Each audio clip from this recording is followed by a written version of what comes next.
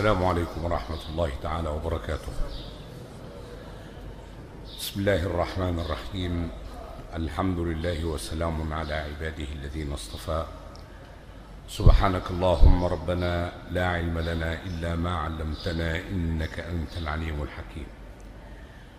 ونستفتح بالذي هو خير. ربنا عليك توكلنا وإليك أنبنا وإليك المصير. وبعد.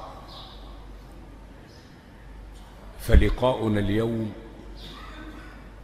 عبارة عن عدة كلمات في عدة موضوعات لأنه لا يصلح أن نكون على مشارف الشاطئ الآخر من رمضان دون أن نخلص لكم النصح في كل ما يجب أن يكون. يوم أو يومان على الأكثر هو الزمن الباقي من رمضان. فإما أن نودعه بعد مغرب أمس وإما أن نودعه بعد مغرب يوم الجمعة. الأمر موقوف على الرؤية والوطن كأي وطن له مفتيه ونحن جميعا وراء المفتي على بركة الله. أيما كان الأمر فلعل هذا اللقاء هو اللقاء الأخير مع حضراتكم في الموسم الثقافي الإسلامي من مسجد الشيخ محمد الشناوي رضي الله تعالى عنه وأرضاه وعلى سائر أولياء المسلمين الصالحين الأبرار. من الإخلاص في النصح ومن أداء الواجب تجاه المسؤولية أتحدث معكم ومع نفسي قبلكم بهذه الكلمات. أولا لا يخلو أي منا من تجاوز. بالتأكيد استزلني الشيطان فأخطأت. واستزل كل منكم الشيطان فأخطأ. أنت تعلم وربك أعلم. أنا لا أعلم ما أنت عليه ولا أي منكم يعلم ما أنا عليه. قد أكون أمامكم أتزيى بزي العلماء وأحمالي من الأوزار والآثام لا يطيق حملها بعير. الله أعلم. إذا كان الأمر كذلك وهو حقا كذلك كلنا ذو ذنوب. قال صلى الله عليه وسلم كل بني آدم خطاء وخير الخطائين التوابون. من كان منكم يريد أن يزعم أنه ليس مخطئا فليثبت لي سندا يدل على أنه معصوم. هل فينا أحد معصوم؟ هل فينا أحد معصوم؟ العصمة للأنبياء. كلنا أصحاب أخطاء. قبل أن ينتهي رمضان بكرة العصر تصلي العصر وتتوضى وتقعد في أوضة مع نفسك. أنت عارف وربك أعلم. تقول يا رب لقد كان مني ما علمت وها أنا ذا يودعني رمضان. رمضان سيعود لكن أنا لست أدري أيعود وأنا على ظهر الأرض؟ أم يعود يعود وأنا في باطنها. اللهم إن كنت قد أذنبت ذنبا أو أكثر في رمضان فليس سواك أدعوه. أدعو من إذا لم أدعك أنت يا رحمن يا رحيم. فيما بيني وبينك أنت أعلم بذنبي مني فاغفر لي ذنوبي فإنه لا يغفر الذنوب إلا أنت. وأعاهدك على ألا أعود. إحنا ما فيش في ديننا وسايط. اللي بيني وبين ربنا مش أقرب من اللي بينك وبين ربنا. أي واحد فيكم يمكن يكون أقرب إلى الله مني أنا. دي مسائل يعلمها الله سبحانه وتعالى. دي رقم واحد. رقم اتنين ربنا سبحانه وتعالى عارف ضعفنا فعمل لنا وسائل لغفران الخلل اللي بيحصل منا في رمضان. واحد كذب مرة أو أكتر واحد اغتاب مرة أو أكتر واحد نقل كلام بين الناس وبعضهم واحد قال كلمة زور واحد قال كلمة عيب واحد وقعت منه نظرة مش كويسة. واحد قعد مع التاني يتكلموا في أعراض الناس كلنا بنغلط. ربنا لعلمه بنا أكثر من علمنا بأنفسنا شرع لنا أبوابا مفتوحة إليه. اللي يخطئ منا الأبواب دي في حد بيشد يقول له تعالى خش من هنا. في حاجة اسمها صدقة الفطر. صدقة الفطر. المشايخ حددوا زكاة الفطر ما أعرفش بكام السنة دي. نعم؟ ب 13 جنيه. طب معلش من أراد أن يأخذ بهذا الرأي فليأخذ أما أنا فلا أفتي إلا بأن أقل شيء فيها ثلاثون جنيها. 13 جنيه دي اسمحوا لنا يعني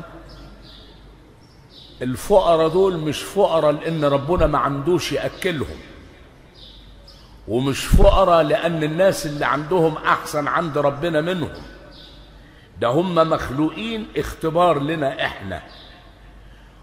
كل من يملك قوت يوم العيد وليلة يوم العيد ومعاه قرشين زيادة عن كده عليه زكاة فطر. زكاة الفطر طعام يوم وليلة من أوسط ما نأكل.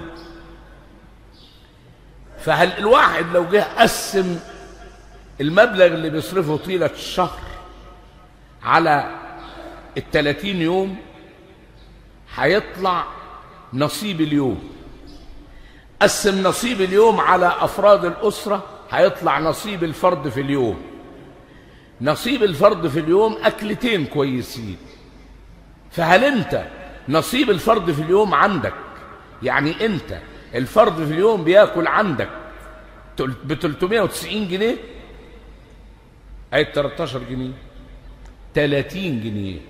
خليها 13 ده اسمه الحد الأدنى لزكاة الفطر. يعني اللي يقلل عن كده ما يبقاش دفع زكاة الفطر. الحد الأدنى. فمن زاد زاد الله له. إذا أنت اتأخرت عن صلاة العيد يوم العيد ما أخرجتهاش مش هتبقى زكاة فطر هتبقى صدقة عادية. إنما زكاة الفطر صدقة محسنة يعني صدقة أجرها مضاعف زي رمضان ما الأجر فيه مضاعف. أرجو إنكم الشمس ما تغربش بكرة إلا وأنتم طلعين صدقة الفطر. سيدنا الإمام أبو حنيفة يرى أن صدقة الفطر ليست سنة. كل المذاهب على أنها سنة. حتى ابن حنبل إنما أبو حنيفة لا. يقول صدقة الفطر واجبة. الواجب ده مرتبة بين الفرض والسنة. يعني أقل من الفرض وأعلى من السنة.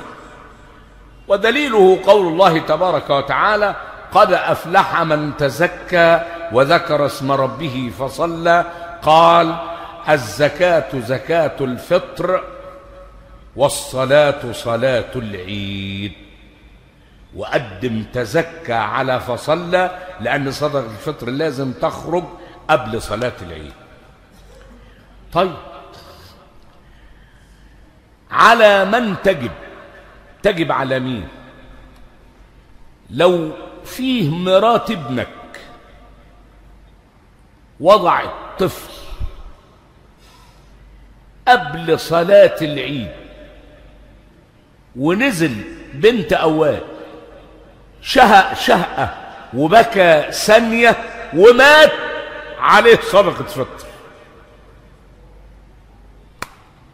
يعني كل حد عندك بيتنفس كده اهو بياخد نفسه لحد صلاة العيد لو خد نفس واحد وقالوا الصلاة جامعة عليه صدقة فطر.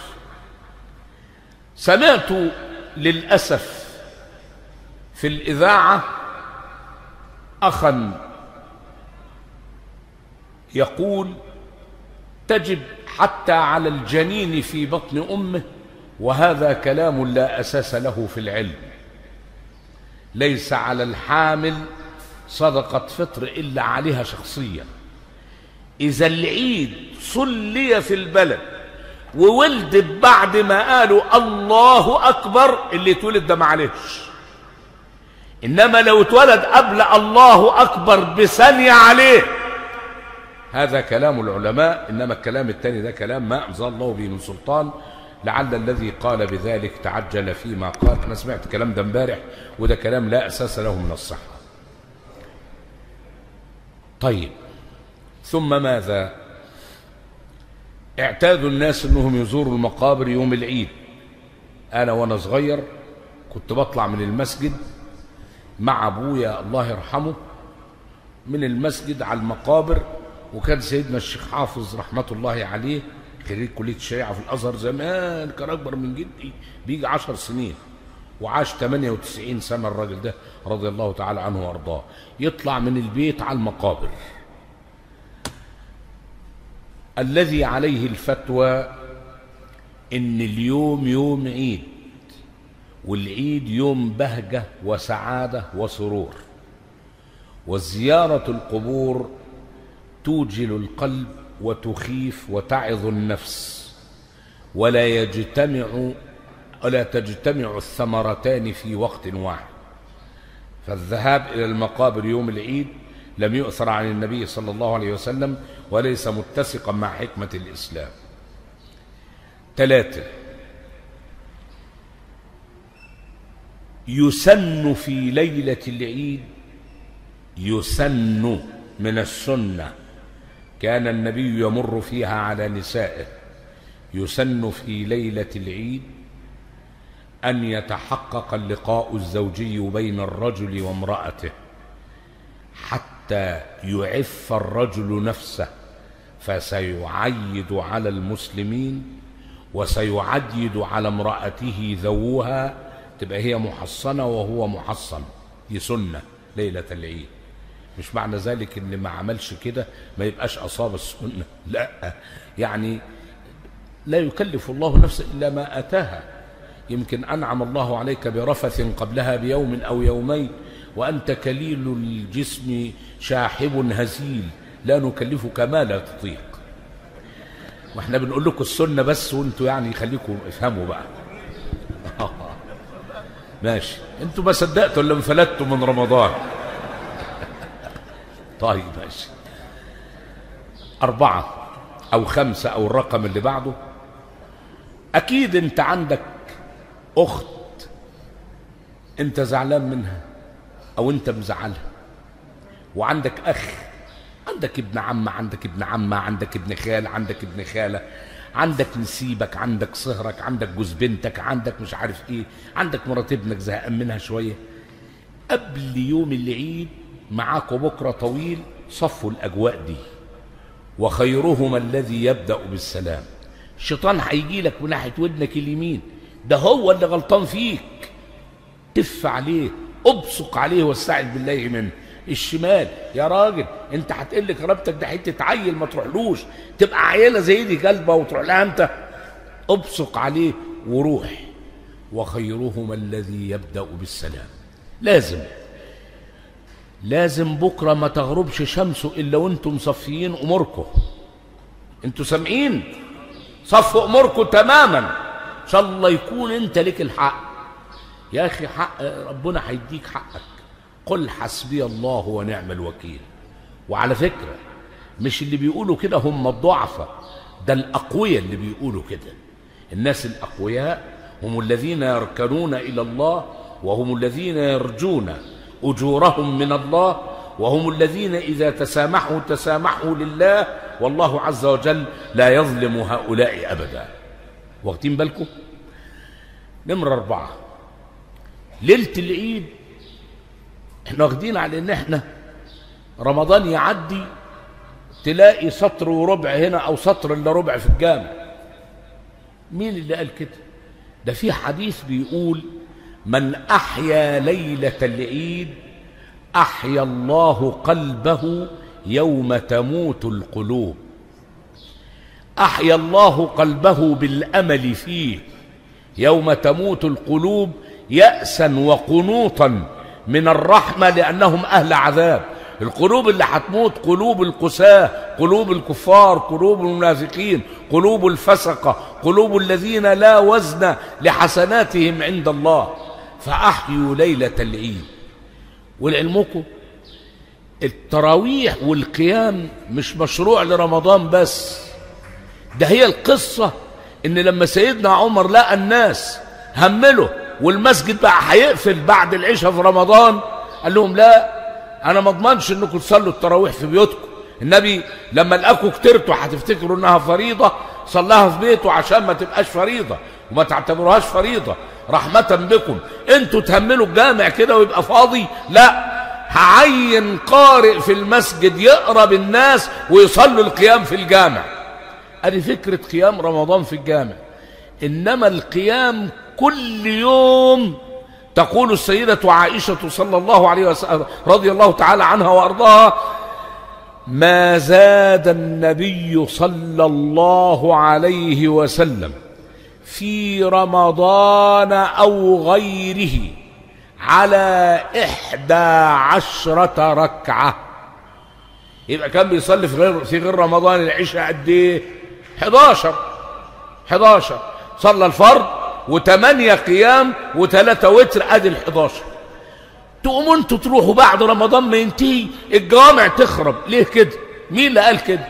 القيام ده سنة طيلة العام والتهجد سنة طيلة العام. لمن استطاع بحيث لا يعطلك عن عملك الدنيوي الذي تكتسب منه وتقوت أهلك وذويك من حلال.